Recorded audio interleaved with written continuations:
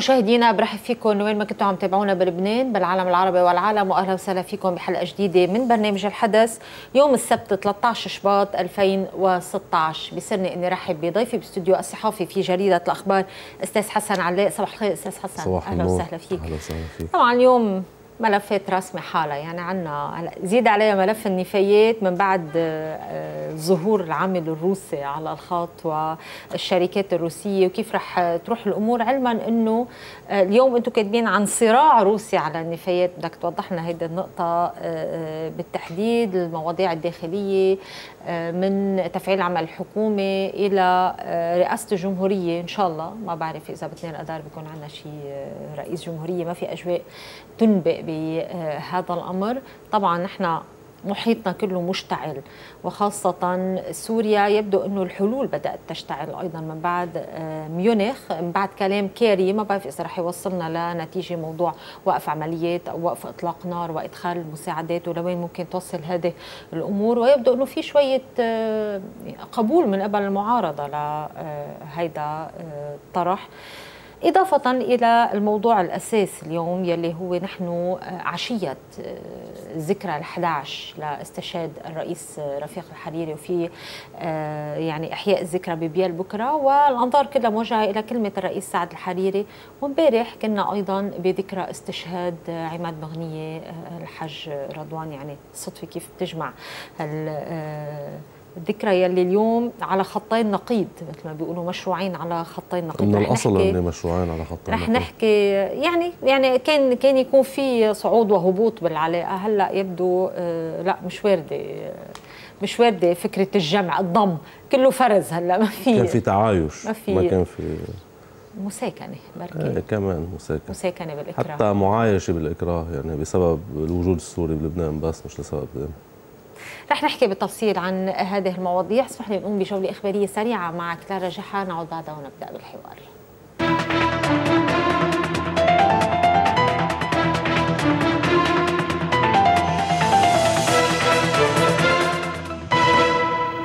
شكرا لك سمر. أهلا بكم.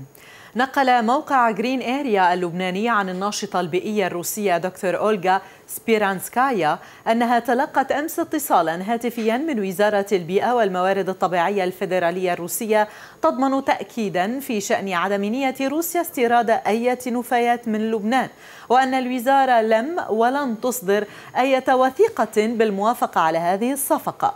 وقدمت الناشطة الروسية طلبا خطيا رسميا إلى وزير البيئة الروسي لكي يؤكد رسميا هذا الموقف الذي تلقته عبر الهاتف من قبل من أسمتهم كبار المعنيين في الوزارة. لفت الرئيس نبيه بري إلى أنه ليس على عجلة لانعقاد مجلس النواب وقال لدي مشاريع في الأدراج برسم المناقشة والإقرار ولست مستعجلا عليها وأنتظر دورة آذار بعد أسابيع قليلة. قليلة. المهم أولا وأساسا استمرار عمل الحكومة. وأبدى بري اعتقاده أن فضيلة الشهور إن صح أن ثمة فضيلة فيه أنه أفضى في المحطة الحالية من الانقسام السياسي الداخلي إلى ما يصح تسميته فرض قوة 8 و14 أذار على السواء. لا قوة 14 آذار لا تزال كما هي ولا الفريق الآخر كذلك. إلا أننا رغم هذه الإيجابية لم نتمكن من انتخاب رئيس الجمهورية. كما أبدى بر ارتياحه إلى قرارات الجلستين الأخيرتين لمجلس الوزراء ولاحظ أنها إنجازات في ملفات بدأ أنه يصعب التوافق عليها. ترحيل النفايات الدفاع المدني القرارات المالية الكلام المرحب بإجراء الانتخابات البلدية والاستعداد لها. قال نائب ناطق باسم الخارجية الأمريكية مارك تونر أن الرئيس السوري بشار الأسد واهم إذا كان يعتقد أن هناك حلا عسكريا للنزاع في سوريا. وأضاف تونر أن كل ما سنراه إذا واصل النظام السوري القتال هو مزيد من سفك الدماء ومزيد من المعاناة وبصراحة مزيد من تشدد المواقف في الجانبين. يبدأ البابا فرانسيس اليوم زيارته إلى المكسيك حيث رحب به الآلاف عند وصوله في زيارة تستمر خمسة أيام. وسيزور البابا القصر الوطني للقاء الرئيس المكسيكي. ومع أن ثلاثة باباوات زاروا المكسيك من قبل سيكون فرانسيس أول حبر أعظم يستقبل في القصر الوطني بعد 24 سنة على إعادة العلاقات الدبلوماسية بين الفاتيكان ومكسيكو. وبعيد وصوله إلى المطار توجه البابا إلى السفارة البابوية على متن عربته الشهيرة بابا موبيل التي اخترقت الحشود الغفيرة المصطفة على طول الطريق ترحيبا بالضيف الكبير. وكان البابا توقف قبل ذلك في كوبا حيث عقد لقاء غير مسبوق مع البطريرك كيريلوس. وقال البابا لمحادثه وأخيرا التقينا. وذلك في قاعدة في مطار هافانا. مكررا مرات عدة نحن إخوة. وبدأ اللقاء بعناق وقبلات بين البابا والبطريرك الروسي. وفي إعلان مشترك عبرا عن الأسف للجروح الناجمة عن نزاعات في الماضي البعيد والقريب بين المسيحيين. ودعا البابا والبطريرك المجتمع الدولي إلى القيام بإجراءات عاجلة لوقف تفريغ الشرق الأوسط من مسيحيه. أعرب وزير الخارجية الإيراني محمد جواد ظريف عن اعتقاده بأن بلاده يمكنها العمل مع السعودية بشأن النزاع في سوريا. وأعرب ظريف في مؤتمر ميونخ للأمن عن اعتقاده بأنه لا يوجد أي شيء في منطقتنا يمنع إيران والسعودية من العمل معا لتحقيق مستقبل أفضل لنا جميعا إلا أنه أكد وجود إمكانية لتحديد التحديات المشتركة خاصة التي تمثلها المجموعات الإرهابية. وقال إن المتطرفين يشكلون تهديدا على إشقائنا في السعودية مثلما يمثلون تهديدا على باقي المنطقة ونحن مرتبطون بمصير مشترك. هذا كان كل شيء في الموجز عودة إلى سمر والحدث.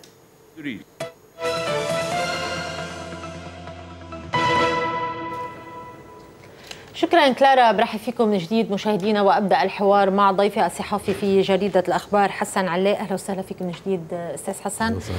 خليني أبدأ من آه، اليوم آه، على غلاف صحيفة الأخبار صانع الزمن الجديد آه، الحاج رضوان عماد مغنية في ذكرى الاستشهاد غدا ذكرى الاستشهاد. ليه؟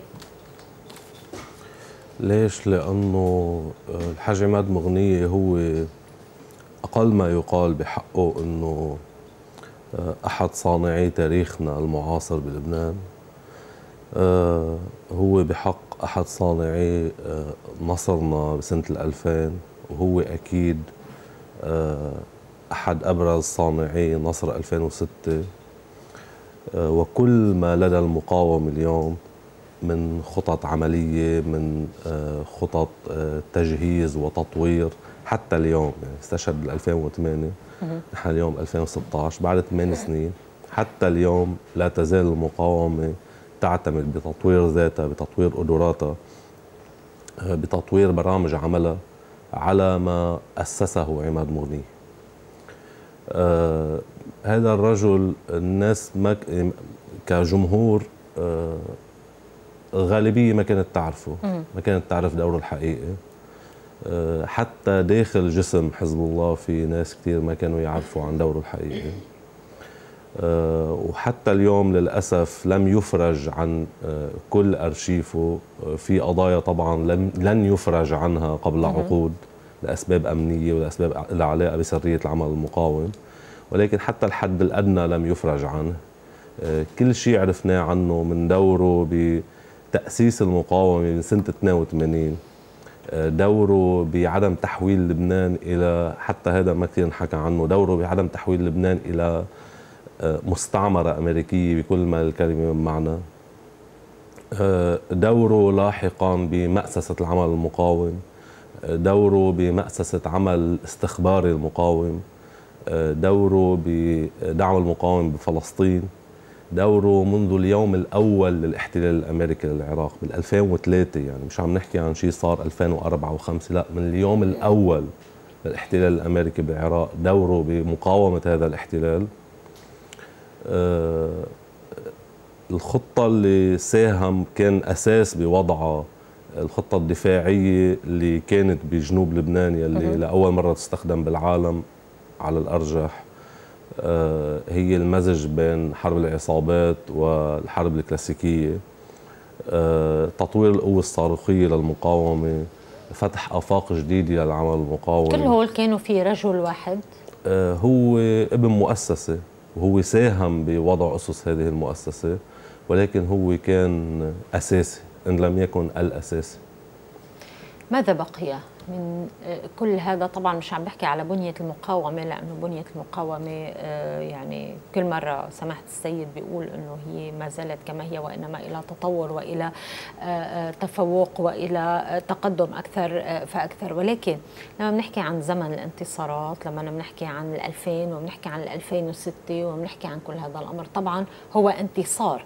ولكن كيف ترجمناه في الداخل اللبناني وشو بقي منه لحد هلأ؟ يعني ما بدنا ننسى فكرة إنه هناك في لبنان من لا يعتبر هذا الذي حصل انتصار ولا يعتبر آه، عماد مغنية آه، في ناس ما بتعتبره شهيد وفي ناس ما بتعتبره إنه هو هالقد على قد ما أنت عم بتحكي وانما بيعتبروه من ناحية ثانية بأنه لا جاب الويل على البلد يعني وجاب عقوبات وجاب توقيفات وجاب لوائح إرهاب وجاب كل هذا الأمر.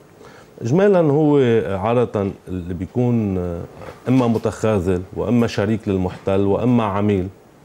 آه، بده يلاقي دائما تبريرات لموقفه ما راح يطلع يقول أنا عميل أنا متخاذل أنا آه، آه، متعاون مع الاحتلال. لا بكل بساطة. يعني فبده يلاقي تبريرات له بده يحاول يهشم صور الأبطال الحقيقيين. يعني بفرنسا اللي تعامل مع النازيه لقى لحاله تبرير بالآخر. قال إنه أنا حماة باريس من التدمير.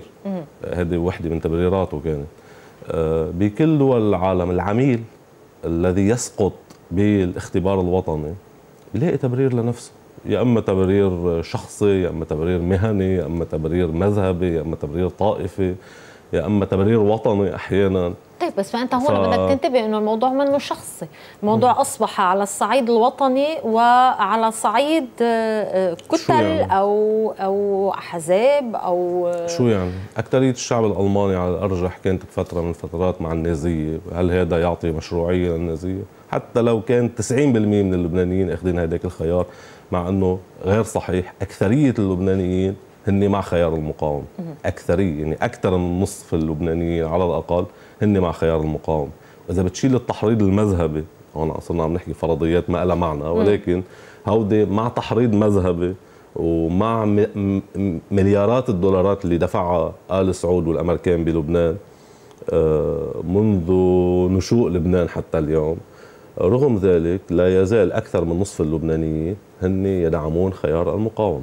ماذا بقي من المقاومة؟ بقي أنه بكل بساطة ما قلنا أنا شو ما, إيه ما سألنا ماذا بقي من المقاومة من المقاومة قلنا شو بقي من الانتصار ومن ما صنعه ما أو من الزمن الذي صنعه عماد بغنية عادة نحن بعدنا عم نعيشه لهذا الزمن. يعني عادة الأمم اللي عندها أزمة بهويتها واللي آه، آه، ما عندها جامع حقيقي مشترك آه، ما عندها اتفاق على تعريف العدو والصديق ما عندها اتفاق على تعريف العميل والبطل. طبيعي إنه هي قبل ما يصير الانتصار ما بتعرف بالناس اللي عم بيعدوا له ولما يصير الانتصار ما بتنتبه أو بتتجاهل بتعيش النكران. ولما وهذا النكران بينسحب على ما بعد الانتصار وتحويله إلى هزيمة ومحاولة مساعدة العدو على تحويله إلى هزيمة. طبيعي إنه في جزء كبير من اللبنانيين ما يحس بمعنى الانتصار ما يعرف شو يعني كان في عنا أرض محتلة في الجنوب وتحررت ما يعرف شو يعني القوة الكبيرة اللي اللي آه، آه، انزرعت بجدار الردع الإسرائيلي. ما بيعرف شو يعني أن تتحول المقاومة في لبنان إلى تهديد وجودي بعد حوالي 20 سنة على عدم يعني كانوا الإسرائيليين ضل ذكر فيها إيهود باراك بال 95 عندما عدد المخاطر وهو أحد أهم الجنرالات اللي مرقوا بواحد من المهمين بآخر آه، آه، ثلاث عقود من الأهم. كان عم بيعبر عن المخاطر الوجودية على إسرائيل. ما اعتبر المقاومة هي خطر وجودي. اليوم المقاومة هي الخطر الوجودي الأول حسب ما يعرف الإسرائيليين حسب ما يعرف الإسرائيليون الأخطار الوجودية على كيانه في ناس ما رح تنتبه لهذا الشيء وما بيعني لهم هذا الشيء ما بدهم يشوفوها هني أحرار بس هني لازم يشوفوها. لازم بلبنان أنا أعرف شو كان يحس ابن بنت جبال وابن مارون الراس وابن آه، ليعه وابن آه، آه، مرجعيون وابن الخيام وابن الناقورة. أعرف شو كان يعاني أعرف شو عانى. أنا قارن نفسي بالضفة الغربية لأعرف أنا وين كنت ووين صرت. أعرف إنه سنة 82 كان الاسرائيلي عم بكزدر هون الشارع تحت. أعرف إنه الإسرائيلي كان يقدر ينزل على مطار بيروت قبل يعني ب... يعني قبل ما تبلش عمليات المقاومة الحقيقة الكبيرة من الأراضي اللبنانية يجي يدمر كل الطائرات اللبنانية الموجودة على مطار بيروت وما حدا يقول له وينك. كان يوصل على على يعني شارون كان يمكن مثل هال نحن هلا يعني مثل هالأيام كان شارون هون لا مش بالإحتلال قبل. قبل الإحتلال.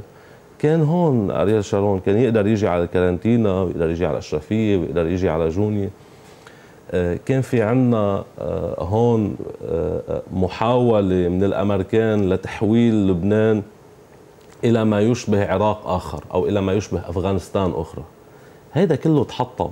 إذا ما بدنا نشوفها المشكلة مش بالحدث المشكلة باللي ما عم بيشوفها نعم. المشكلة باللي مقرر أنه يكون إنه يقبل إنه يحدد له خياراته الأمريكان والرجعيه العربية متمثلة تحديدا بأنظمة الخليج وبأنظمة الاستسلام اللي كان يعني الساداتية اللي لا زالت تحكم العالم العربي إذا أنا بدي أقبل إن هي تحدد لي أولوياتي وتفرجيني وين الانتصار وين الهزيمة بيكون مشكلة فيي إنه أنا قبلان كون هيك مش المشكلة باللي صار يعني نعم.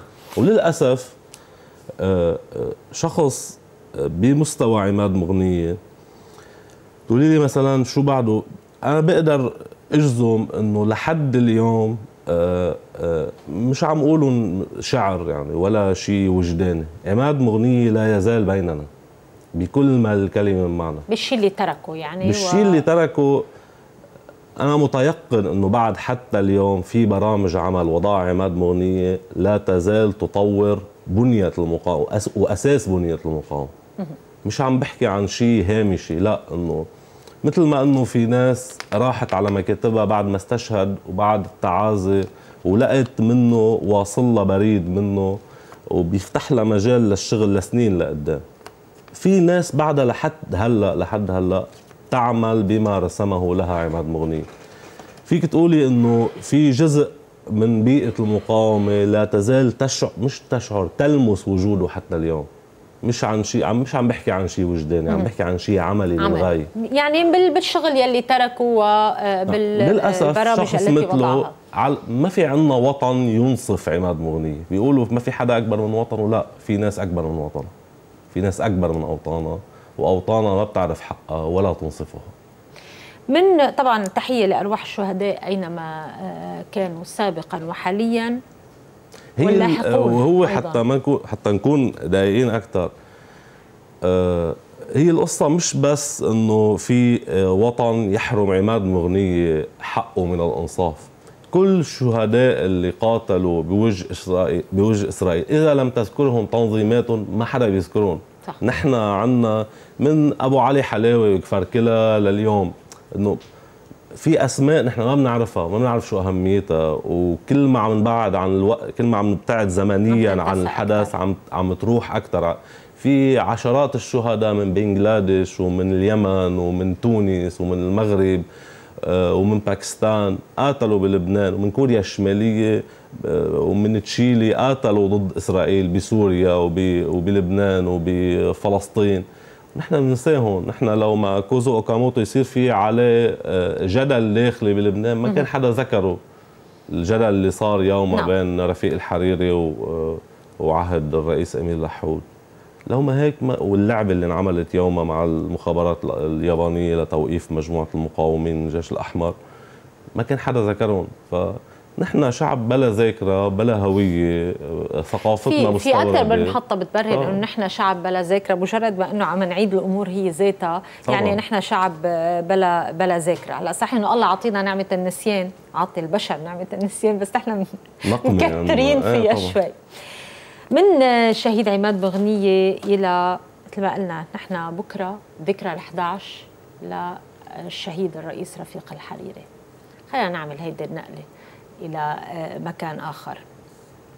بكرة العيون كلها موجهة إلى بيال إلى كلام آه، الرئيس سعد الحريري. شو بده يقول بكرة الرئيس سعد الحريري؟ مشي.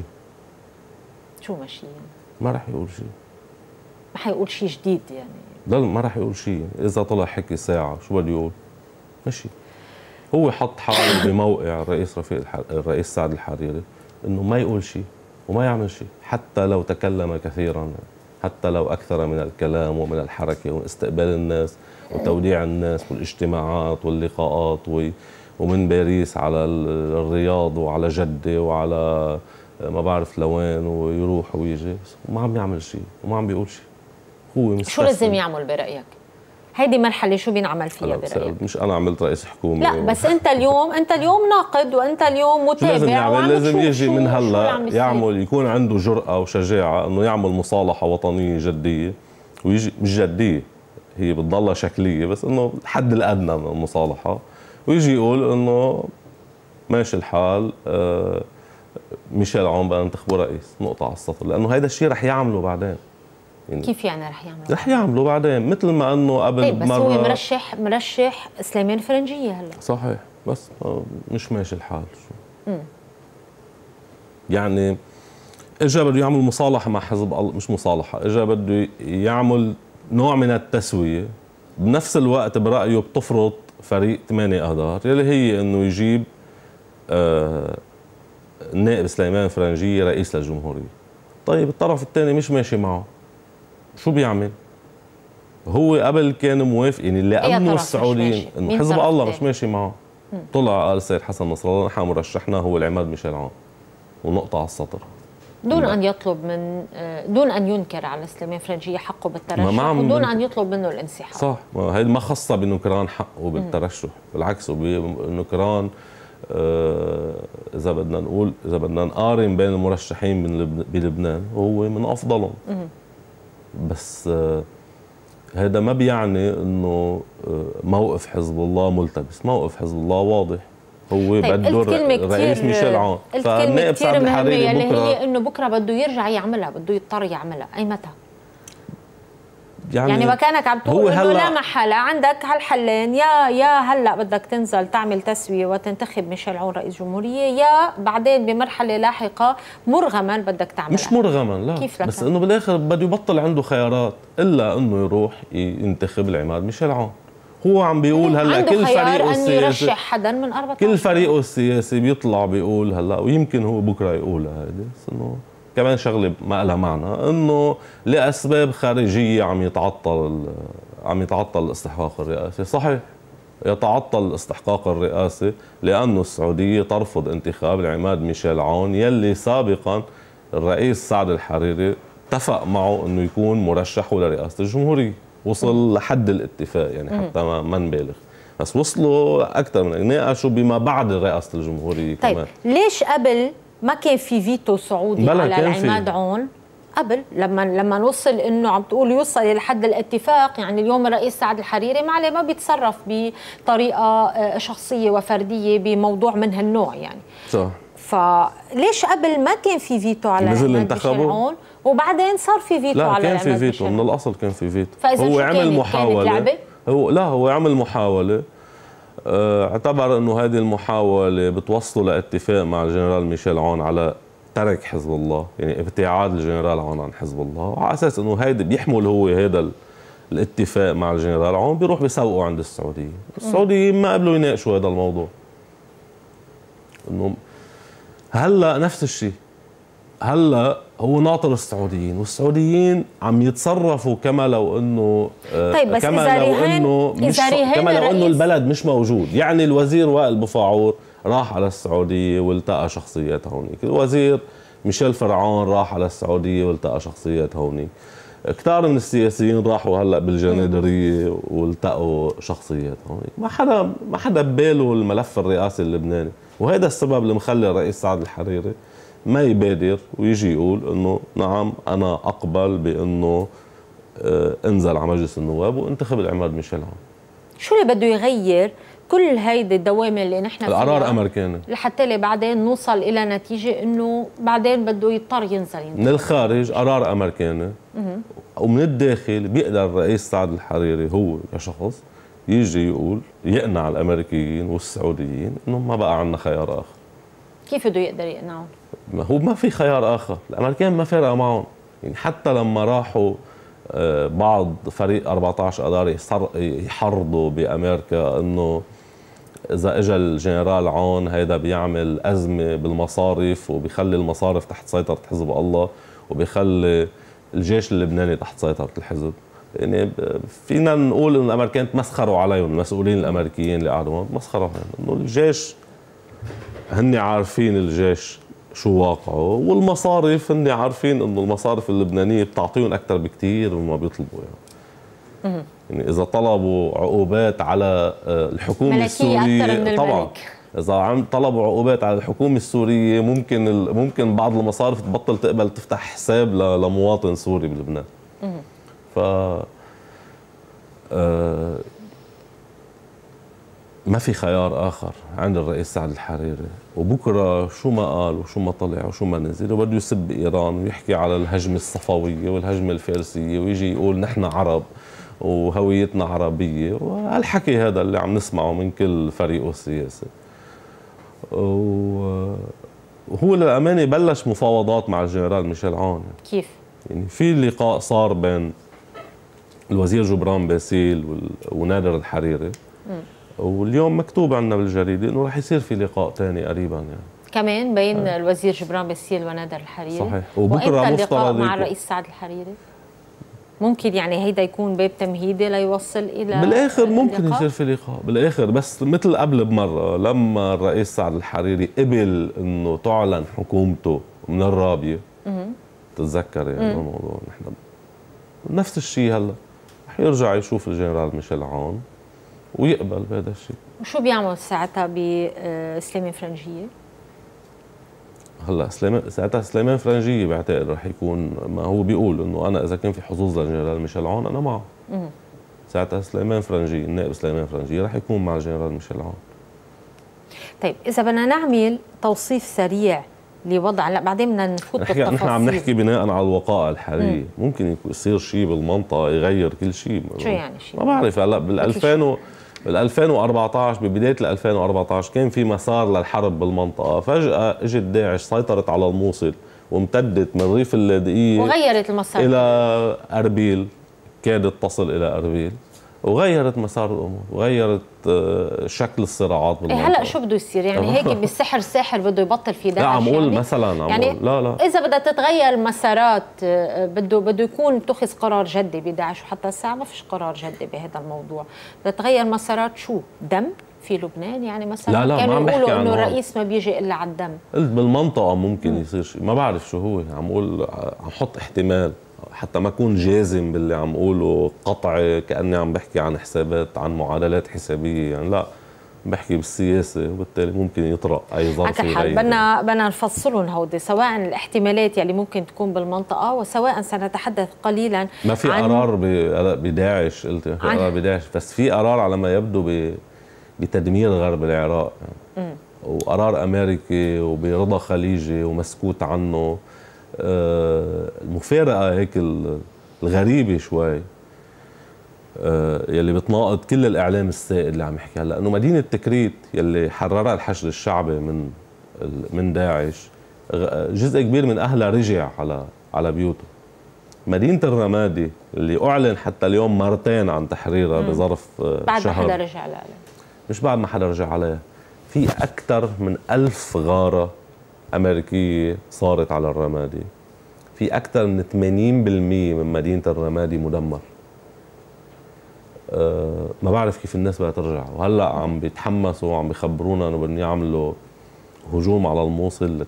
بيقولوا طيب لتحرير الموصل. حررت ليش هالغارات كلها؟ لأنه بعد ما حررت. وليش عم يعلنوا عن تحريرها؟ لأنه الحكومة العراقية بقيادة حيدر العبادي كذابة كاذبة. هيدي بدها تفصيل. ومنبطحة قدام الأمريكان بشكل يعني حيدر العبادي تحديداً. هذا بدها تفصيل رح نحكي نحن وياك وقبل نفصل شوي بالملف السياسي الداخلي قبل ما نروح على ملفات آه، الشيء كثير خطر اللي عم بيصير بغرب العراق ونحن ما عم ننتبه له. طيب هلا ما عم ينتبه له.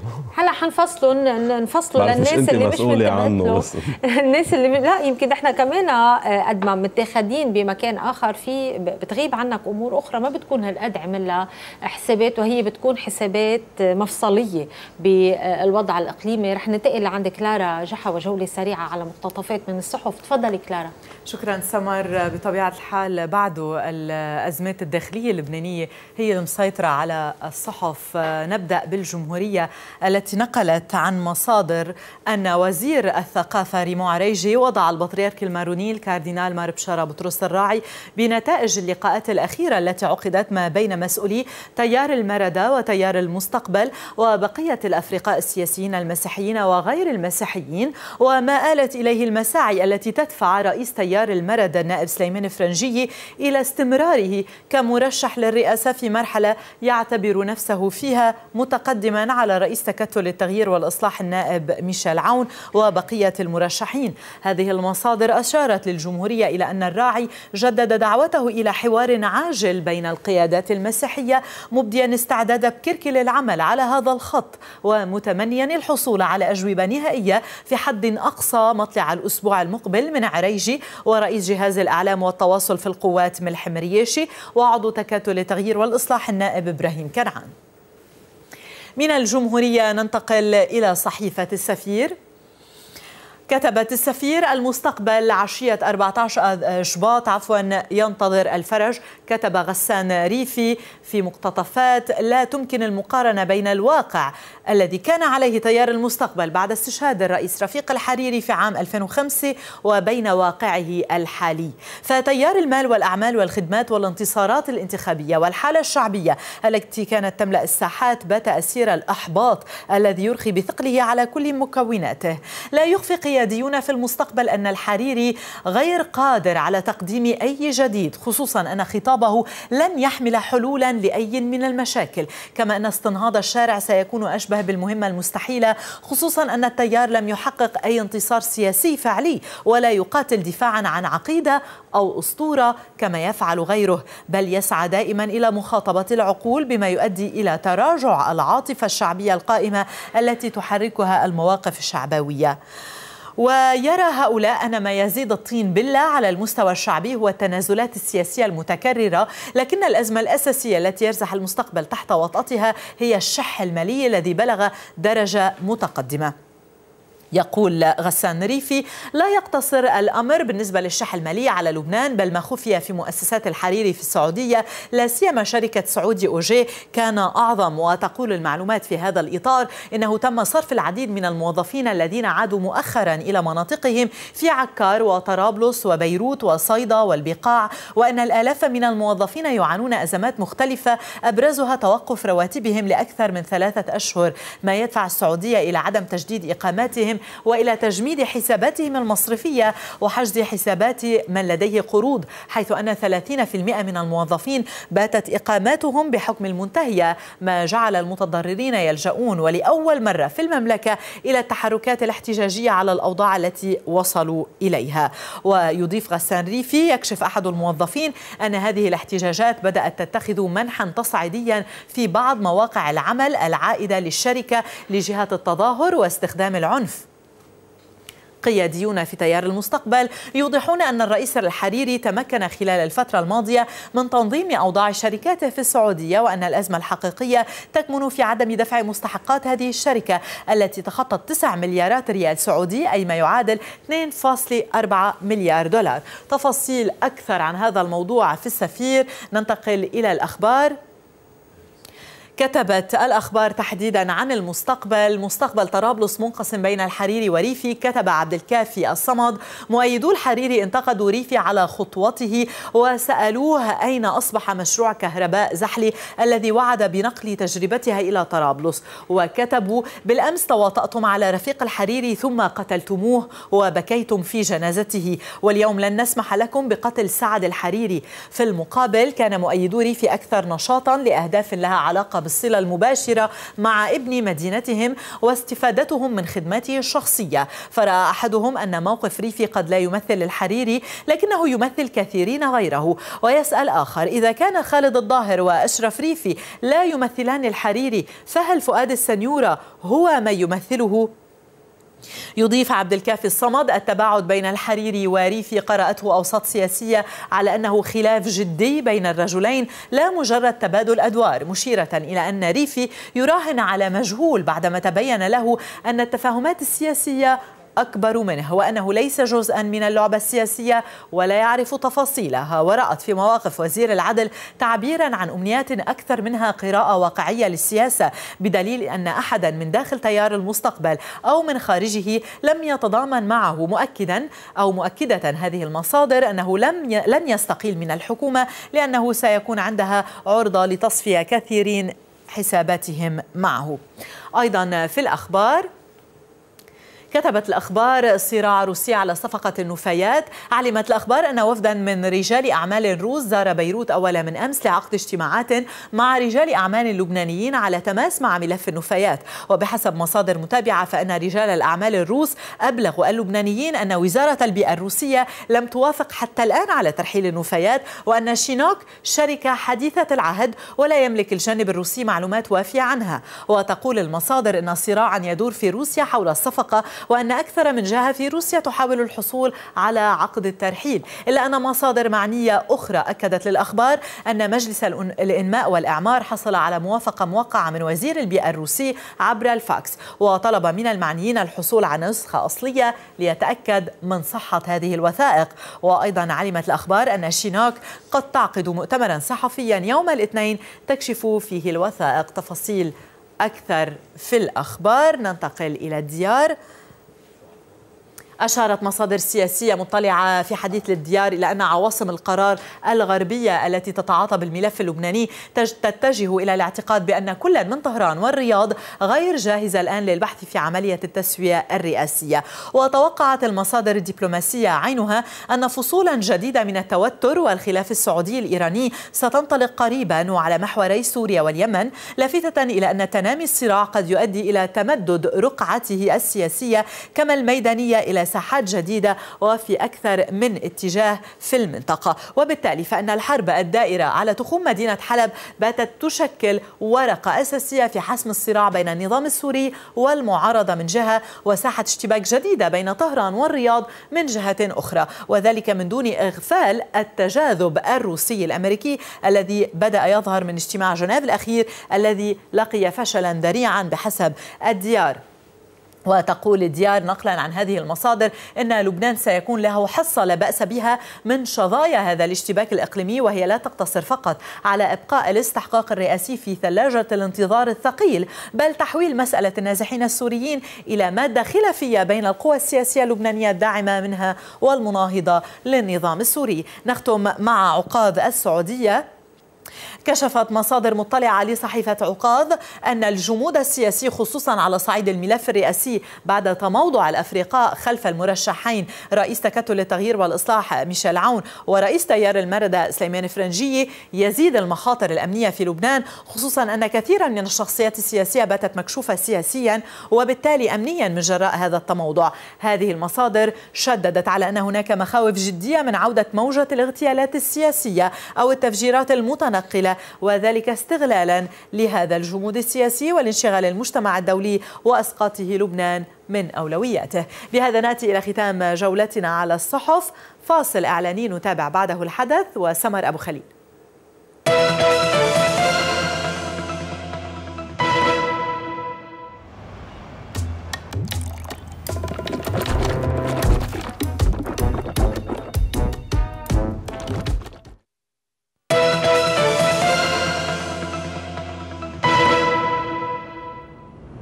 وكما سائر اللبنانيين في كل عام مجدودا إلى هذا المكان وإلى هذا الضريح وإلى هذه الذكرى. فدولة الرئيس رفيق الحريري رحمه الله تعالى كان يمثل شيئا خاصا وخاصا جدا لكل منا. ذلك أنه في حياته وعمله وجهده ورؤاه وأفكاره كان مسكونا بهموم كل منا وطموحاته وأحلامه فضلا عن احتياجاته وحرياته. وكان يحس بالالتزام الأخلاقي والسياسي تجاه ذلك كله. ولذلك فإنا جميعا شعرنا بالفجيعة عندما استشهد بهذه الطريقة الفظيعة. كأنما أراد القتلة معاقبته على حلمه الوطني والعربي الحلم بالعيش المشترك المزدهر والوطن الحاضن لأبنائه والدولة القوية والعادلة والرحبة التي افتقر إليها اللبنانيون وكثير من العرب منذ زمن. في حضرة الشهيد الحي دولة الرئيس رفيق الحريري. تزول كل الاعتبارات. لا نجامل ولا نلوذ بالصمت ولا نسخط أو نغضب. إنها الألفة والسكينة اللتان كان حضوره يبعث عليهما كما يبعث عليهما استشهاده. لقد اعتاد الناس على القول إن هذا الرجل أو ذاك هو شهيد القضية ولا قضية أكبر من تلك التي استشهد من أجلها الرئيس رفيق الحريري. قضية سلام الوطن وسلامته وأمنه. هو كان يقول ما في حدا أكبر من بلده. ونحن نقول إن البلد الذي يستحق رفيق الحريري وتضحياته هو بلد عظيم بالفعل. ولذلك فسنظل مؤمنين بقدرة لبنان على النهوض بقدر ما آمن رفيق الحريري. وسنظل عاملين من أجل ذاك النهوض اقتداء به وبنهجه ودأبه. دولة الرئيس الشهيد لقد جعلت الأمر صعبا وصعبا جدا. على كل من يمارس العمل السياسي والإعماري والاجتماعي بعدك. وحسرتاه لأن التاريخ لا يعيد نفسه. بل تتقاصر الأشخاص والأحلام والآمال. عندما تقف أنت في قلبها بقامتك الشامخة وعزيمتك الكبرى ونفسك المعطاء ونظرك البعيد. وهذا كله هو الذي منح حياتك ووفاتك معناهما الخاص الذي لا يتكرر أيضا. مثلما يصعب تكرار الآفاق الشاسعة التي عملت عليها وفيها. نقف اليوم عند ضريحك كما في كل عام. وكما في كل عام. فنحن لا نملك لك ولأنفسنا كثيرا أو قليلا من الأخبار السارة. فالمذبحة في العرب ما تزال مستمرة. والدولة التي أعدت بناءها في لبنان قد اضحت مشلولة والمؤسسات الدستورية فارغة أو لا تملك القدرة على الحراك. لقد قلت إن الطريق الذي شققته في العمل الوطني والإنساني صعب الاتباع بيد أن السار السار من الأخبار في هذا العام وكل عام إن شاء الله تعالى أن خلفك الرئيس سعد الحريري مصر على مثل حلمك وعملك وطموحك وأملك.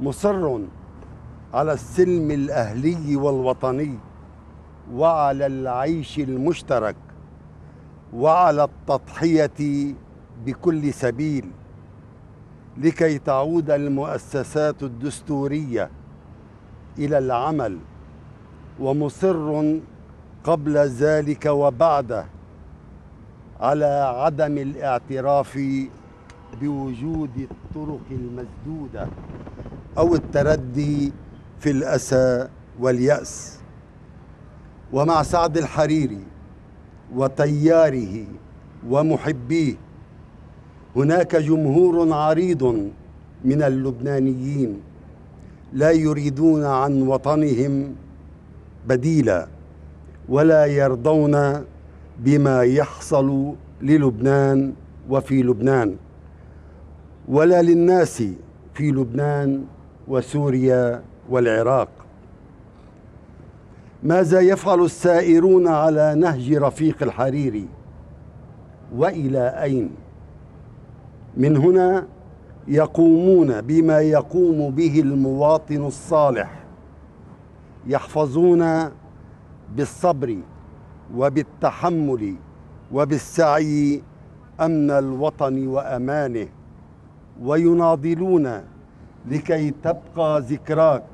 يا دولة الرئيس بالإصرار على سلام وسلامة الوطن والمواطن والعيش المشترك والمنفتح والعروبة الحرة والأبية في شتى الظروف والأحوال. اللهم ارحم شهيدنا الكبير دولة الرئيس رفيق الحريري. وسائر الذين استشهدوا جزاء ما قدموا لشعبهم وأوطانهم من تضحيات. اللهم ارحم الشهيد رفيق الحريري جزاء عمله من أجل الناس في لبنان وغير لبنان. وارحمه يا رب جزاء ما قدم من سيرة ونهج للمواطنين اللبنانيين وللعرب في الجهد السلمي والمدني والعمراني والنهضوي. اللهم وفق أسرته وتياره للاستمرار في السير على هذا النهج البناء في نهضة البلاد وراحة العباد. إنك على ما تشاء قدير وبالإجابة جدير.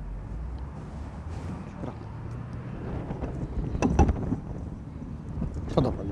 تفضل. مولانا من وين؟ تفضل.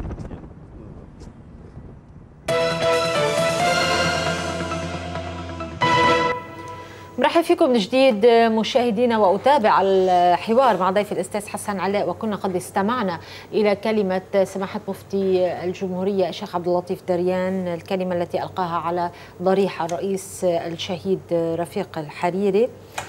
أستاذ حسن شو قولك صار طيار المستقبل بده دعاء لحتى لا يقوم من يلي هو فيه. إنه بالآخر حتى ما ما كثير نظلمهم كمان.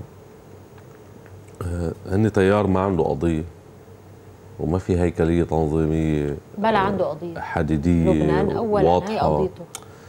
هذا شعار هيك. وقضيته العبور إلى الدولة.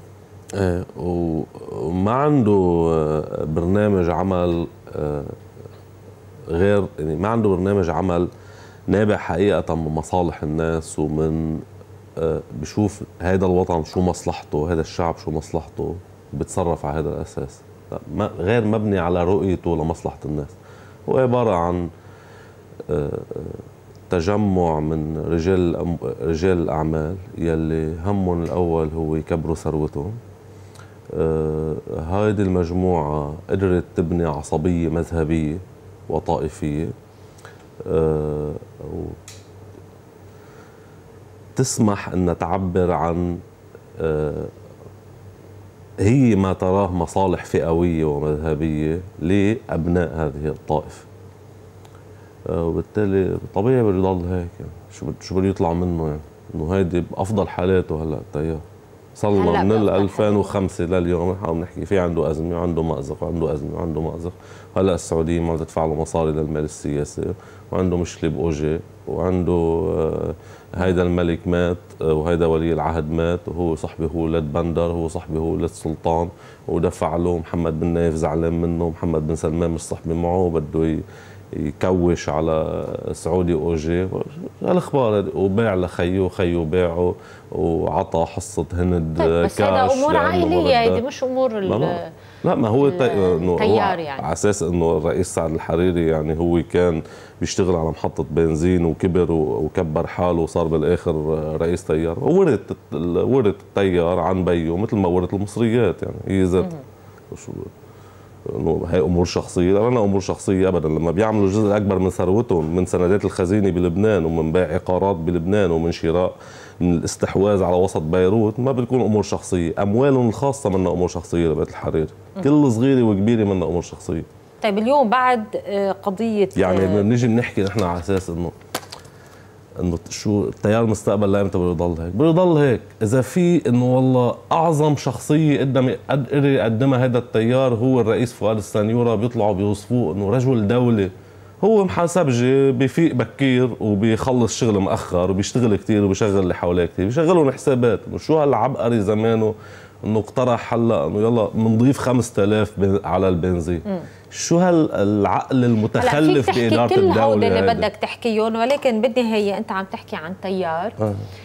بيمثل 70% ما عم بنسى. من السنة بيمثل 70% لبنان. من السنة بلبنان صحيح ما عم يعني بنفي كيف هذا ما. وصفته هالقد حجمه السياسي صحيح ما هيك؟ صحيح. يعني شو ما عملت؟ صحيح طيب ما عم بنفي هذا الشيء إذا- ولكن هذا التيار آه غير كفو آه ما بيعرف يدير دولة ما بيعرف يدير نفسه آه ما عنده قضية حقيقية. آه هذا تيار آه لا يهمه مصالح الناس الحقيقية. هذا تيار بيشتغل على طريقة إنه أنا معي كتير مصاري بدي أشوف كيف بدي اكبر هالمصاري وبيجي آه، آه، بسكت الناس بمعنى إنه أنا بعطي للفقراء وبعمل حسن هذه منا طريقة إدارة الدولة هذه إذا أعطيت ل 30 الف زلمة بالبلد وساعدت 50 ألف عائلة بالبلد إيه شو يعني؟ هيدي الدولة هيك هاي إدارة الدولة هيك فؤاد السنيورة بيطلع هلأ بيقترح إنه بده يزيد 5000 ليرة على البنزين. شو هالعبقرية الفزه هيدي يعني؟ رجل دولة أسخف كلمة استخدمت بلبنان يمكن من أول من 43 بقدر أحط علامتي من 43 هي إنه يوصف فؤاد السنيورة إنه رجل دولة. في مخلوق ما قدر يقدم مشروع واحد لحل أزمة السير بالبلد. كهرباء عاجز يجيب لي مي عاجز يوصل لي على البيت.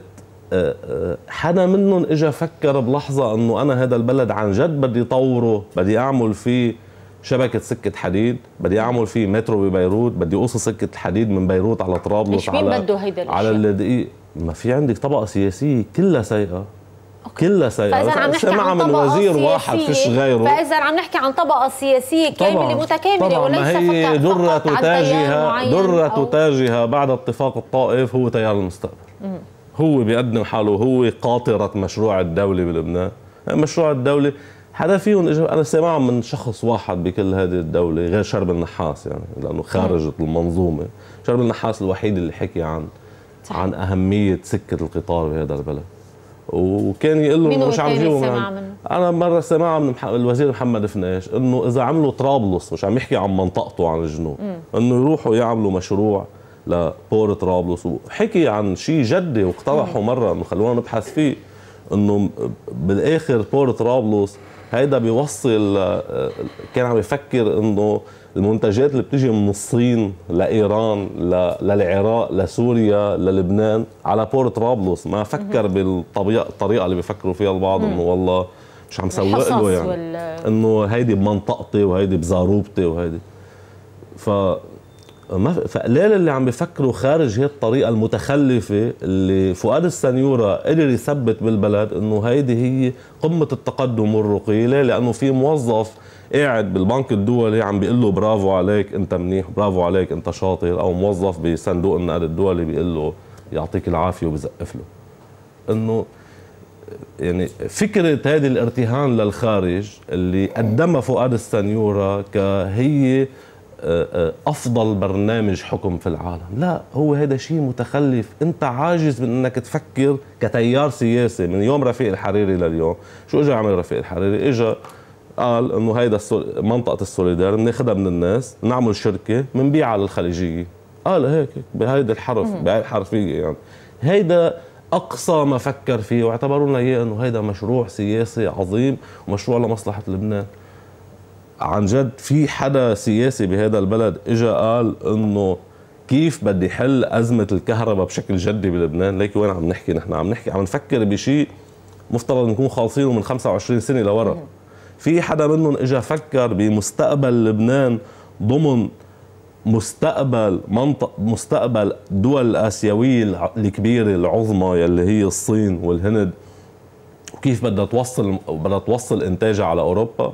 حدا فكر بهذا الموضوع؟ حدا فكر إنه لبنان عن جد مؤهل إنه يلعب دور على خط سكة حديد من من لبنان توصل للصين؟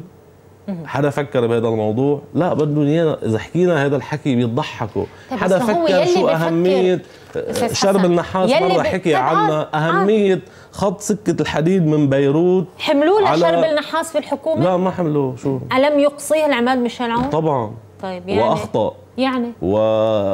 وبعدنا لحد هلأ عم ندفع ثمنها. طيب اليوم بيطلع حدا بيقول لك إنه إذا هذا النموذج ما انحمل ويلي. هو قائد الإصلاح والتغيير ما قدر حمل شرب النحاس كيف بده يحمل البلد بأمه وبيه يعني؟ كيف بده يكون رئيس جمهورية لبلد؟ هو الأفضل هو ما الموجود وهو ما قدر حمل آه، آه، إصلاح. شو أفضل الموجود؟ شو بدي يعمل وزير إصلاحي ما ما قدروا يحملوه بالحكومة. صحيح. طيب يعني؟ ما قدروا يحملوه. لا هن ولا حزب الله ولا غيره. إيه يعني. شو يعني؟ يعني عم نبشر الناس بأنه الوضع رح يبقى هيك. الوضع من سيء طبعاً. إلى اسوء سؤال السنيورة قادر بعده حتى اليوم يعني حتى ما أكون بس عم بحكي عن فؤاد السنيورة ولكن فؤاد السنيورة بيمثل هيك هو آه، آه، هيدي حبة الكرز تبع النظام السياسي. آه، كل هذا النظام السياسي هو نقيض ما قدمه شرب النحاس. ما عم بحكي بس على فؤاد السنيور.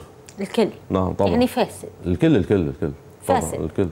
مش إنه إنه مش بس فاسد. مجموعة من القتلة والمجرمين والسارقين والحرامية. وشو ما بدك تسميه سميه في فريق واحد بهذا البلد اسمه المقاومة. هذا بنحط على جنب. ما له علاقة بهذا الموضوع وما له علاقة بالفساد. وما له علاقه في أشخاص هون وهون وهون ولكن كمنظومة ما له علاقه بهذا الجانب والباقي ابدا. كله؟ والباقي كله يعني آه، شو بدي أقول لك؟ آه، عمل لك وصفت لك اياه قتلة ومجرمين وسارقين وكل بساطة يعني. وكيف بده يقوم هيدا البلد؟ ما في طريقة ليقوم هيدا البلد إلا بتغيير آه، هلا ما فيك تغير نظام ما فيك تغير نظام ما فيك يجي آه، آه، طوفان جديد ونوح جديد يغير لك الدنيا كلها. نوح زعايتر غير إيه مع هقة الحشيش بده يبعثها على هيدا اكبر دليل إنه ما في دولة شيء. لا لا. نوح زعايتر كمان أكيد هو مظهر من مظاهر الواقع بالبلد بس إنه إنه نحن بنطلع بالإعلام بكل وسائل الإعلام من عنا وجر يعني. وصرنا نقول كيف بيطلعوه على التلفزيون وهيدا بدري شو هيدا حبيبي أنتوا بتتسابقوا كلنا على بعضنا نتسابق لنروح نعمل مقابلة مع واحد مهجر نص البلد ونتسابق لنروح نعمل مقابلة مع واحد ناهب مصريات البلد نتسابق لنعمل مقابلة مع واحد عميل للخارج بعده لهلا عميل للخارج. أو واحد كان جده عميل للعثماني وبيه عميل للفرنساوي ورجع اشتغل مع أبو عمار ورجع اشتغل مع الإسرائيلي ورجع اشتغل مع السوريين ورجع هلا بعدين ركب موجة ثورة الأرض وهلا بده يركب موجة التحالف بين عون وسمير جعجع. إنه بتجوا بالداخل وبتجوا بتقولوا إنه آه، كيف بتحكوا مع نوح زعيتر وشو هالخدش للحياء العام وللفضيلة؟ يمكن أفضل من كثير طبعا أكيد نوح زعيتر أفضل السياسية. من جزء كبير من الطبقه السياسيه أكيد طيب فإذا نحن محكومين نعيش بالفساد وننحكم ونحتكم بس حتى أكون. عم بحكي للأمانة يعني بخصوص الجنرال ميشيل عون أكيد إنه تجربته للجنرال ميشيل عون والمشاريع اللي قدمها واللي حاول يشتغلها ولكن النظام السياسي قدر يحطمها أو يأخرها بمحلات أفضل من كل شيء تقدم من 92 لليوم بس مش مش ال- آه، مش المثالية. لا ما كان عند ما كان يعني آه يعني اليوم هو آه، العماد ميشيل عون قاد مسيرة كبيرة ويشهد لها يلي هي مسيرة الإصلاح والتغيير. بس شو قدر عمل من الإصلاح والتغيير؟ كثير قليل. شو قدر صلح وشو قدر غير؟ كثير قليل. بعدنا عم نقول إنه جزء من الإصلاح كان شرب النحاس يا ست سمر. وفي زلمة اسمه فؤاد السنيورة هلأ معطل الموازنة بلبنان من 11 سنة لليوم. مانع أي تركيب برزي بالدولة لحتى يغير تغيير إيه، جذري؟ ممنوع مين بده يوقف بوجهه لفؤاد السنيوره ما حدا رح يوقف بوجهه. ليه؟ ما فإذا حدا ما حدا يدعي إنه هو منه فاسد وإنه هو منه آه، آه، يعني ما فينا نعمل هذه الإدعاءات. انعملت حملات على الرئيس فؤاد السنيورة. انعملت حمله ال 11 مليار. انعمل كتاب الإبراء المستحيل. انعمل كل هذه المطالعات. آه، كنا بنتذكر آه، آه، الاستاذ إبراهيم كنعان. شو المعارك اللي خاضها ويشهد له بهذا الأمر ب- آه، بلجنه المال والموازنة. طب وبالآخر؟ ولا شيء. حطيني دافع عنه يعني أو عن لا. عن الأداء أنا جزء بسألك. من السلطة. أنا عم بسألك. قال لك النظام كله فاسد كله فاسد ويواجه يعني هذا تركيبة النظام تقدر تحطم أي آه، آه، أي مشروع للتغيير بالبلد أي مشروع للإصلاح بالبلد. تقدر تقصي شخص مثل شرب النحاس تقدر آه، آه، تأخر مشروع مثل اللي قدمه الجنرال ميشيل عون بالكهرباء وبالمي وبالنفط وبغيره وبغيره. آه، بتقدر هذه المنظومة إنها تحمي حالها بطريقة تخلي إيه نحن ببلد ما في حسابات. تخلي إنه نحن ببلد ما في موازنة. تخلي إنه نحن ببلد بيقدر حتى اليوم فؤاد السنيورة بكل وقاحة إنه يعطل الانفاق العام بالبلد ليه؟ لأنه بده يستدرج وزراء المالية اللي إجوا بعده للمخالفات اللي هو ارتكبها لحتى يبري حاله لأنه هو بيعرف حاله إنه خالف القانون.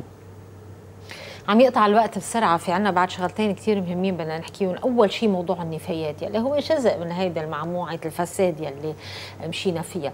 لوين؟ موضوع النفايات أنتم اليوم بالأخبار كاتبين تضارب حول موافقة موسكو على الصفقة الفضيحة صراع روسيا على النفايات. بعد في فضايح أكبر آه بدها تطلع من ملف النفايات. نعم. متتابعه بس نعم. نحن اليوم وصلنا لوين؟ بهيدا المسلسل يلي خليني أقول لك ما حدا فاهمه منا وبالجر ما حدا عم يقدر يفهم ويستوعب شو عم بيصير. عم ننام على شيء عم نوعى على في شيء جزء من ثاني السلطة بده ياخذ هيدا بده ياخذ 4 دولار على الطن وهيدا بده ياخذ حكينا- 6 دولار حكينا على واضح، ما تقلي جزء من هيدي. اتهامات ب- ما معي 50 مليون ليرة أروح أدفعهم بال بال بال بالمحاكم. بمحكمة المطبوعات بكل بساطة. في حدا عم ياخذ 4 بده ياخذ 4 دولار على الطن وحدا بده ياخذ 6 دولار على الطن. مين بدك تعتمدي على علي إبراهيم؟ يعني القاضي علي إبراهيم. أو على أي على ديوان المحاسبة أو على شو على التفتيش المركزي إنه مصدق أو على مين يعني مثلا؟ والله شكري صادق. هن أصحابهم إنه بضلوا يتعشوا مع بعض وبيتغدوا مع بعض وبيظهروا مع بعض وبيعمل آه، فؤاد فواز عرس لمدري مين بيجي بيعزم عليه نص القضاة بالبلد وكل السياسيين وبيكونوا الوزراء والنواب اللي مفترض المدعي العام المالي يكونوا يكونوا يكونوا يرتعبوا منه يكون راعبهم. يكون هو وياهم عم يتغدى. شو هلأ ما عم بت... مش عم بحكي بس على إبراهيم. كل ال... كل حرمت الناس تقعد مع بعضها يعني بس. ما انت لا، عندك لا. system كله مدمر. صح. والقضاء جزء من هذا طيب هلا ال system. هلأ موضوع اختصر لي موضوع النفايات. إلى موضوع النفايات. ناطرين هلأ الروس. إجت شركة روسية عم بتقول إنه ليش بدها تاخذ شركة تانية هودي زبالتكم وتوصلنا إياها على روسيا. نحن بننقلها من لبنان على. روسيا. شو المشكلة هلا؟ هلا المشكلة إنه ما قبلانيين يطرحوا أي طرح آخر لأنه على ما يبدو فينا هيك نتهم كمان على ما يبدو نكب اتهامات جزافا هلا بيطلع كمان. هي اتهامات إعلامية لك إيه جزافا أنتم بتستاهلوا هي الطبقة السياسية تستاهل إنه الواحد يكذب عليها بالسيء يعني. لازم نحن اللبنانيين نخترع أشياء عنهم لهي الطبقه السياسية. جسمهم لبيس. لحتى نسيء لصورتهم أكثر من هيك يعني. هن جسمهم لبيس مش مهم. بحاجة يعني. على ما يبدو في حدا آه، من الطبقة السياسية آخذ حصة 6 دولار على الطن واحد تاني آخذ 4 دولار على الطن.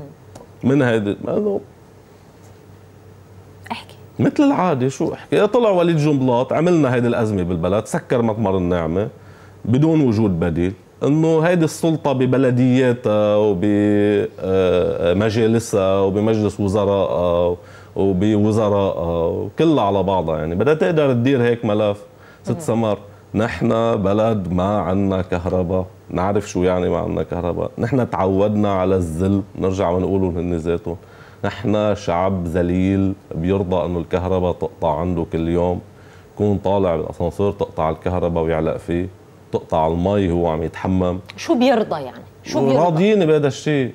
نحن راضيين بهذا الشيء. طيب وقت اللي إجت تتحرك جربت تتحرك الناس خونوها وعملوها عملاء؟ لا ما خونوها وعملوها عملاء. في جزء من السلطة خونها وعملها عملاء بس كمان الحراك المدني اللي نزل آه، بده يكون صدره أرحب شوي للانتقادات وبده يعرف إنه أنا لما بنقذ من واحد بيشتغل مع الأمريكان حقي انقذ من الواحد بيشتغل مع الأمريكان لأنه امريكان أمريكا عدو إلي. أمريكا بتقتلني. فبده يستوعب هذا الشيء بده يتقبلني كمان. ما بده يكون مثل السلطة يجي يقول لي عم ترمي اتهامات جزافا. لا خيي أنت عم تشتغل هون. وحكينا عن أربع خمس أفراد مش أكثر يعني. وبرجع بقول الحراك المدني اللي صار هو حاجة لهذه له- بهذا البلد. حاجة لنا نحن كلبنانيين. نحن كلنا بحاجة لحدا يخوف السلطة بهذه الطريقة.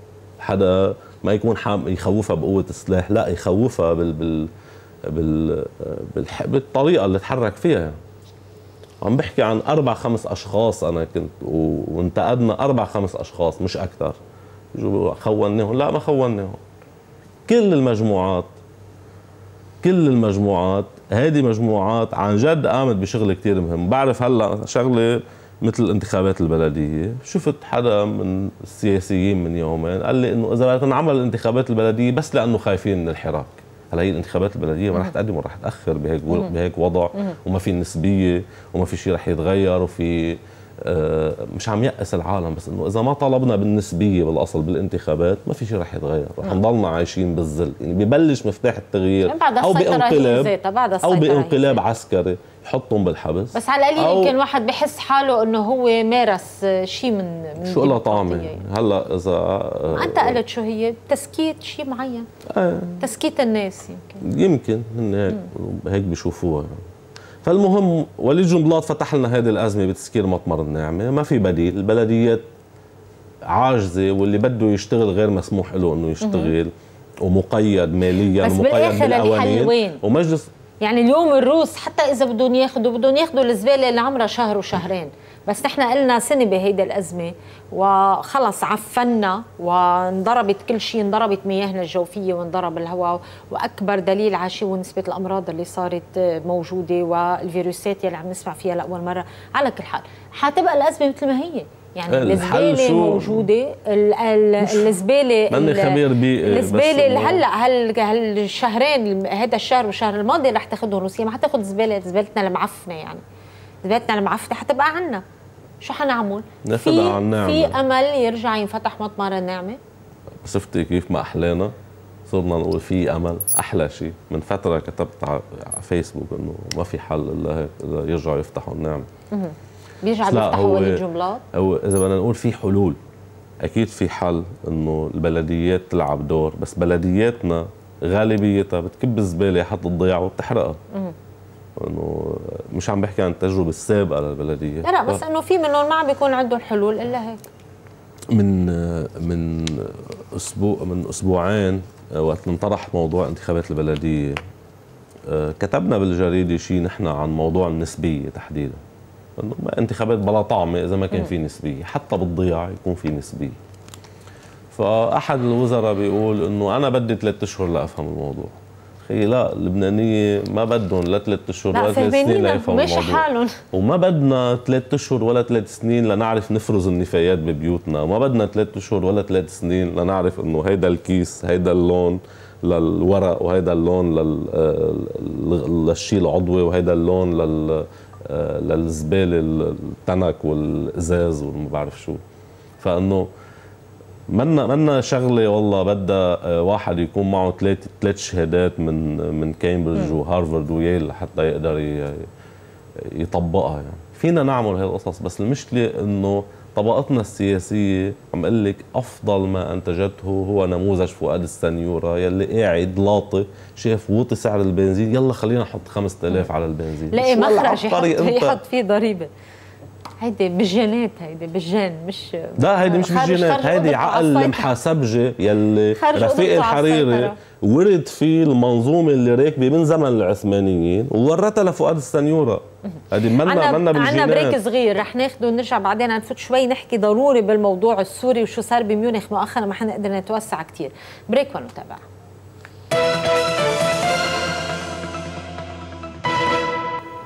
برحب فيكم من جديد مشاهدينا وأتابع بما تبقى من وقت مع ضيفي الاستاذ حسن عليق قبل ما نروح على الموضوع السوري رح كنا عم نحكي عن موضوع تيار المستقبل وما إلى ذلك.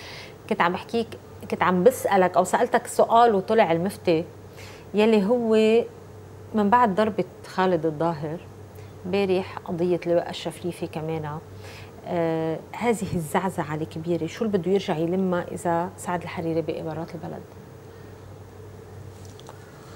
شيء برات البلد ورجع على البلد يعني. أنت بالنسبة لك هي زي أي ذاتها شو الله الصلاة العظيم يعني. بس هذا بده ياخذ على مزيد من التفسخ وعلى مزيد من الشر. إنه هي ذاتها شو شو يعني؟ بالآخر الشارع معه لسعد الحريري مش كله يعني إيه بس, بس بطرابلس مثلا عنده مشكلة الشارع طبعا. مع مع اللواء أشرف ريفي في لا في رأيي إنه بطرابلس الشارع هو غالبيته خارج تيار المستقبل لا أشرف ريفي ولا سعد الحريري. اعتقد انه غالبية بطرابلس بتروح على خيار يعني امبارح نتائج نجيب مئاتي محمد صفدي فيصل كرامي بس في في عندك كتلة مسيحية وكتلة علوية اخر أشرف ريفي. عنده انتماء للوزير صح أشرف طبعا. ريفي. الوزير أشرف ريفي بقي طلعت محاكماته. بقي من ثمان سنين بقوى الأمن الداخلي. الوزير أشرف ريفي بعهده توظف حوالي أكثر من 10000 شخص بقوى الأمن الداخلي. هو كان له اليد الطولة بحصة الشمال. كان يخدم يعمل خدمات بموضوع المخالفات مخالفات البناء اللي بيفوت على الحبس واللي بيظهر من الحبس مخالفة السير وبنقل عسكري من هون لهون وبتوقيف فلان وبغض الطرف عن فلان. كل هول القصص فوق هيك كان في كمية مال كتير كبيرة موضوعة بتصرفه وكان ينفقها بما يخالف القانون بالشمال ليشتري ذمم ويشتري زعماء ميليشيات ويدافع عنهم. نتيجة؟ هو زعماء الميليشيات أو قادة المجموعات بالحبس. يعني بالحبس ما عدا ناس مثل عميد حمود بينذكر اسمه ب 100 ملف بالمحكمة العسكرية ما حدا بيقرب صوبه. بالتحقيقات عند مخابرات الجيش ما حدا بيقرب صوبه. امبارح طلعت احكام جديده طبعا. من المحكمة عندنا كمان فوق منهم مثلا الشيخ سالم الرافعي بينذكر اسمه على الطالع وعلى النازل بالتحقيقات وبالمحكمة العسكرية. ما حدا بيقرب صوبه أشرف ريفي بيعملوه وزير. ورفعت عيد بيحكموا عليه مرة واثنين وثلاثة مع إنه بيعرفوا كلهم كل الأجهزة الأمنية بتعرف إنه رفعت عيد ما له أي علاقة بالتفجيرات اللي صارت بطرابلس. تفجير المسجد. امبارح حكم غيابي باشغال شقة مؤبدة. صحيح. عمل لك ما بالآخر هذا البلد إنه أشرف ريفي بيعرفوا القوى السياسية لمين كان يدفع مصاري أشرف ريفي وقديش كان يدفع كل شهر. بتعرف الأجهزة الأمنية والقضائية والدولة لمين كان يدفع مصاري كل شهر؟ من عمل وزير عدل. بينما رفعت عيد لأنه طائفته صغيرة بهذا البلد لأنه طائفة عددها صغير. وسوريا خربانة. وسوريا لم تعد بالقوة ذاتها بلبنان فرفعت عيد بينحكم مرة واثنين. أقول وبيعرفوا إنه رفعت عيد ما له أي علاقة بالتفجيرين الإرهابيين إلى اللي أن صاروا يقضي ب الله أمرا كان مفعولا. يبقى الوضع كما هو نعم. عليه. سوريا لوين رايحة؟ في ظل ما نشهده في ميونخ. المؤتمر اللي صاير بميونخ واللي لبنان عم بيشارك فيه امبارح. وزير الخارجية الأمريكي كاري بيقول أنه تم التوصل إلى اتفاق هو عبارة عن وقف إطلاق نار يبدأ الأسبوع المقبل ومن ضمنه كمان إدخال المساعدات إلى المناطق ال- ال- خلينا نقول المحاصرة مثل مضايب والفوعة وكفرية اليوم ميدفيديف دير الز... حكي عن دير الزور إنه اتفاق على إدخال المساعدات على دير الزور، دير الزور اللي محاصرها هن داعش صح. تنظيم داعش. يعني ما فهمنا هيدي شو بالضبط شو قصده فيها غير. الطريقة اللي عم يشتغلوا فيها الروس. ميدفيديف اليوم بيقول عسكريون أمريكيون وروس سيشرفون على تنفيذ اتفاق ميونخ. صح نحن هلا بسوريا بنقطة تحول كتير كبيرة. تشبه اللي صار سنة 2012 بس معكوسة. 2012 كان آه، عم نحكي بعد تفجير مبنى الأمن القومي بعد الدخول إلى حلب. آه، بآخر 2012 بتشرين مرة كنا آه، بحلقة معك هون وكان قبل بليلة في هجوم كثير كبير على طريق المطار. بال 2012 بآخر تشرين حسب ما بذكر ويوما قطعت الإنترنت والاتصالات بسوريا لمدة ساعات. يوما كان الوضع إنه آه، آه، كان الأمريكاني والسعودي والقطري والتركي حطوا تقلهم بوجه النظام بسوريا واشتغلت عملية تهويل كبيرة وشغل استخباراتي كتير كبير آه، لإنشئاءات ولشراء عسكر وضباط وعشاير وزعماء عشاير و- ومسؤولين محليين وسياسيين وأمنيين بكل عملية كبيرة ومنظمة. كان؟ هدفها إسقاط النظام ووصلوا على الشام يعني كان دبابات عم تنشاف على أوتوستراد المز وكانوا معتقدين وطلعت بالآخر السنة هيلاري كلينتون قالت ال- الخناق آه، يشتد على الأسد وطلع باراك أوباما قال أيامه معدودة وصلنا إنه خلص رح يسقط. كان نظرة يوم بهديك من محور المعارضة للنظام النظام رح يسقط خلال أيام. هلأ الأمور معكوسة يعني. اللي حكاه آه، أو ما نسب إلى جون كيري قد يكون دقيقا يعني إنه لو إذا بتبقى الاندفاع اندفاعة الجيش السوري وحلفائه كما هي عليه. آه، بصير في تغير جوهري بالمشهد خلينا العسكري. نحط شو هو التغير؟ لأنه ما يعني عندنا وقت نفصل كثير. يعني بالاخر؟ عندك أنت آه، فتنا كان في مرحلة هبوط للنظام رجع صار في مرحلة آه، صعود نسبي. فاتت داعش على الخط خلطت الأوراق رجع صار نتيجة هذا الأمر ونتيجه عوامل أخرى صار في تراجع على النظام. بالسنة الماضية بأول السنة الماضية. وصلنا نحن لشهر حزيران. الخط. لا قبل قبل دخلت روسيا على الخط. نحن فتنا بشهر حزيران لشهر أيلول قبل ما تفوت روسيا على الخط. صار في شيء بالجبهة الجنوبية تحول كثير كبير. صحيح. أدى إلى صمود الجبهة الجنوبية ومنع منع ال- تساقط المواقع والقرى والمدن بالجبهة الجنوبية. آه، وصار في استيعاب للهجمات اللي صارت. آه، كذلك الأمر بالشمال. فاتت بعدين فاتت روسيا على الخط. آه، صار في آه، تأمين لما يحتاجه الجيش السوري أكثر من ذي قبل. الجيش السوري صار عنده مرونة أكثر على الحركة بالحركة. آه، في الدعم المعنوي اللي كتير كبير اللي مأمنه الوجود الروسي. في الغطاء اللي كتير كبير اللي مأمنه الوجود الروسي. المساهمة العسكرية الروسية. وإن كانت ببعض الجبهات مثلا بالجبهة الجنوبية المشاركة الروسية مش ولا مشاركة الحلفاء هي الأساس. الأساس هو قتال الجيش السوري بريف حلب الشرقي بكويرس الجيش السوري يقاتل وحيدا بلا حلفاء. الجيش الروسي عم بيأمن له غطاء جوي ولكن الأساس الموجود على. لا بريف حلب الشرقي ما في في جيش سوري وحده بالجنوب اللي عم بيقاتل هو الجيش السوري وحده. بريف حلب الشمالي وريف حلب الجنوبي المعركتين الكبار اللي صاروا صحيح في مشاركة كثير كبيرة للحلفاء. باللاذقية لا الغالبية اللي كانت عم تقاتل هي الغالبية المطلقة هي سوريين سواء كان جيش سوري أو قوى دفاع وطني أو حزب سوري قومي اجتماعي. طيب نتيجة آه هلأ لوين؟ أو غيره من الجماعات من الجماعات الأحزاب والقوى اللي عم تقاتل مثل ما مكمل الأمور هلأ تروح مثل ما مكمل الأمور هلأ نحن فتنا على مرحلة حساسة للغاية. الطرف الآخر بده يعمل شيء ليرد على هذا التقدم اللي عمله النظام على التغيير الاستراتيجي. بال 2013 ضل كررها هيدي. حقان فيدان مدير المخابرات التركية قال لزواره اللبنانيين كانوا اللواء أشرف ريفي والعميد عماد عثمان وضباط آخرين من فرع المعلومات. قال لهم ويضل يكرر اللواء؟ كان يوم يكرر اللواء أشرف ريفي إنه خلي حزب الله يفوت على سوريا ياخذ القصير هو والنظام وياخذوا حمص. نحن بس ناخذ حلب ب 48 ساعة بتسقط كل المناطق الثانية اليوم صارت القصة معكوسة, معكوسة. اليوم النظام يقترب من حصار الأحياء التي تسيطر عليها المعارضة في حلب. النظام آه، وحلفائه آه، الطرف الآخر التركي السعودي القطري مش مش منتبهين له كثير بهالأيام. الإماراتي أه بده يرد بده يعمل شيء ولكن بالآخر القرار بيد أمريكا. قرار الدخول إلى سوريا بريا أو غير بريا بيد أمريكا. أه أمريكا راحت بمؤتمر ميونخ تبنت الخطاب الروسي كما هو وقف إطلاق نار يستثني داعش والنصرة والجماعات الإرهابية الأخرى. خلينا نجيب كل شيء كان يحكيه لافروف خلال ست أشهر خلال السنة اللي مرقت. نفس الخطاب حرفيا.